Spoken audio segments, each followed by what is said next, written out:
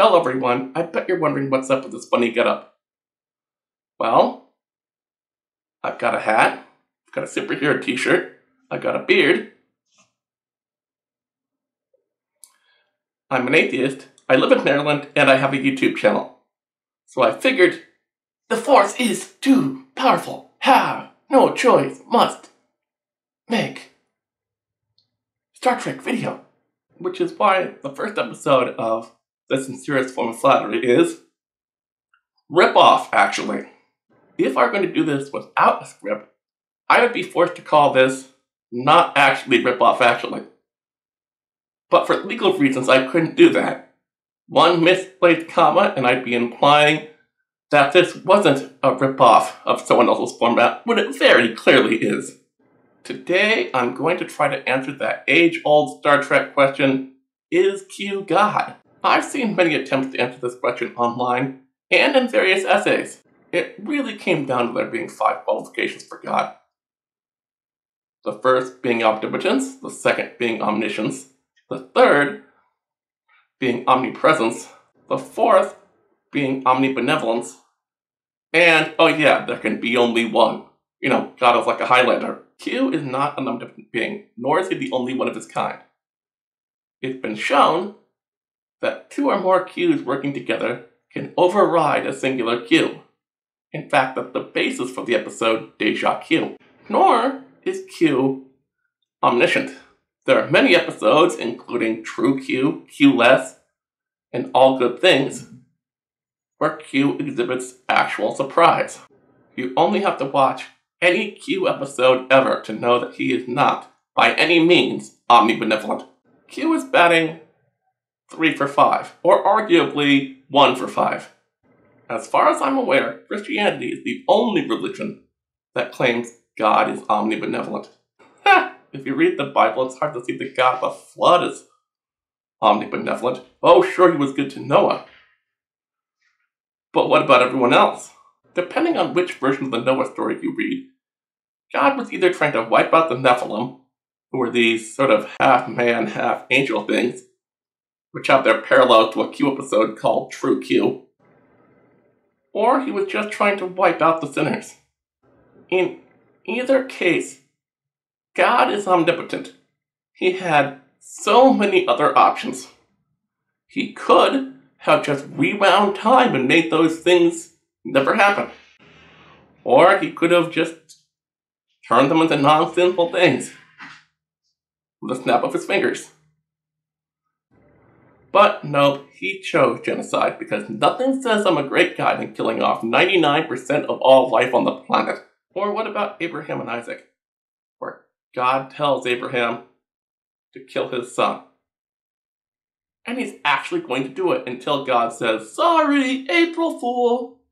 Because there's no better way to tell your most beloved servant, I love you, than tricking him into killing his own child. Is the way God treated humanity in the flood that much different than how Q treated the Calamarain? Or when he introduced humanity to the Borg? These things don't seem like they'd be that out of character for God. Yeah, about that only one God thing. I hate to break it to you, but there are many places in the Bible where other deities are referred to as being actual things. The first commandment doesn't mean that there aren't other gods. Yahweh is just saying, hey, Ra, Zeus, Odin, Xenu, those guys are all around. But they're complete and total wouldn't it be better to have to only deal with one omnipotent it than an entire pantheon of warring squabbling pigs? So just do whatever the fuck I say, and I'll keep those other kids off your back. Really? All that gets you is that Q isn't the Christian god. The god of the Old Testament is exactly like Q. He's incredibly powerful, he's capricious, he's untrustworthy, he's amoral.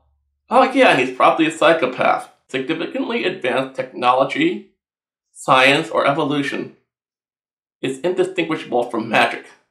An entity like Q is so far in advance of us that any distinction between it and God is purely academic. The human mind is incapable of comprehending the difference. But really, I don't think you can get Q off the hook for being the God of the New Testament either. And it all goes back to that episode I mentioned earlier, Deja Q. Let's see. A cosmic being taking on human form to learn a lesson about morality? Seems a bit familiar, don't you think? And I know what you're going to think. All those examples I gave of the nasty God were Old Testament. Those don't count. Funny how that's always the Christian response when an atheist brings up how horrible God is. But when they want to use their religion to justify, say, limiting gay rights, they turn to Leviticus, which is about as Old Testament as you can get. So why does that count? The parallel between Q and Jesus couldn't be more clear. While Q doesn't die, he surprises Picard and Q's fellow members of the Continuum by being willing to do so, which leads to Q being reinstated. And the experience has a profound effect on Q in every episode thereafter. The Q we meet in Encounter at Farpoint, Hide Hiding Q, and Q Who are all about wrath and destruction. Whereas, after Deja Q, Q is less of a destroyer and more of a trickster. So, he either learned his lesson in morality, or at least realized that if you break all your toys, you have nothing left to play with. And after that, he never really wanted to harm Picard, Janeway, or Sisko. He just wanted to play. Okay, Sisko maybe. But he learned his lesson pretty quick. He didn't always come to play either. In Q Less and in All Good Things, Q felt some sort of moral obligation to help lesser beings. You know, like a good deed is supposed to do. Which is more than you can say for Yahweh most of the time. But, much like the biblical god, Q was just sort of a prick about it. The episode The Q and the Gray might be where the Q is God argument falls apart. Damn you, Voyager! A civil war breaks out in the continuum. Oh god, I just got that pun. Ugh. Anyway, Q asks for help from the one entity in the cosmos who might actually help him. Because he's sort of indirectly responsible. But if Q were God, an omnipotent being, you would have no need for help. If you can do anything, you have no real need for other people. A lot of the people who say that this destroys my argument are the same people who say that God needs as many people as possible on his side so that he has an army for the end times. Yeah, that makes total sense. An omnipotent being who can do anything needs an army. Uh huh. I'd buy that for a dollar even if you ignore my entire religious argument. People will say, oh, you can't be God because Gene Roddenberry was an atheist, which is a bit of a myth. His family claims that he believed in some sort of higher power. He just didn't believe mankind had to act in deference toward it. He was more anti religious than, than an atheist. He also believed that as vast as our universe must be, that God caring about one rinky dink primitive minded planet out in the boonies of the universe to be absolutely absurd. Maybe once we pulled ourselves out of savagery, he, she, it would care. But not now. If you look at God through the eyes of Gene Roddenberry, Q being Yahweh makes perfect sense. What's the first thing Q does when he meets Picard and company? He puts the Enterprise crew, and by extension all of humanity, on trial to see if they deserve to be among the stars.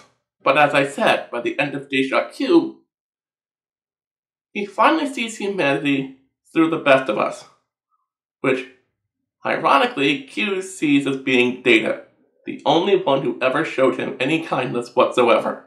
And to prove that he learned a little bit about humanity, he showed some himself by allowing Data to experience joy, if ever so briefly but he also claimed he wasn't going to turn Data human because he was afraid it would ruin him. Q still sees things about humanity that he doesn't like, but unlike the rest of the continuum, he hasn't given up on us entirely. In fact, by the end of Deja Q, he no longer sees us as the infection that he did in Encounter at Farpoint. No, no, no, now Q thinks of us more as children or a puppy That's funny because that's pretty much how Christians think God thinks about them. So, is Q God? I'd have to say for the Star Trek universe, yes. But if that's true, is the Great Gazoo the god of bedrock? I don't know, who the hell do you think I am, Saberspark? Q shows more of the qualifications to be God than any other entity we've seen in the Star Trek universe. More than V'Ger, more than Trelane, more than whatever that was at Sha Ka Ree, even more than the Bajoran prophets. If you enjoyed this video, please hit like or subscribe. I'll have my Patreon up soon. But until then, keep on trekking.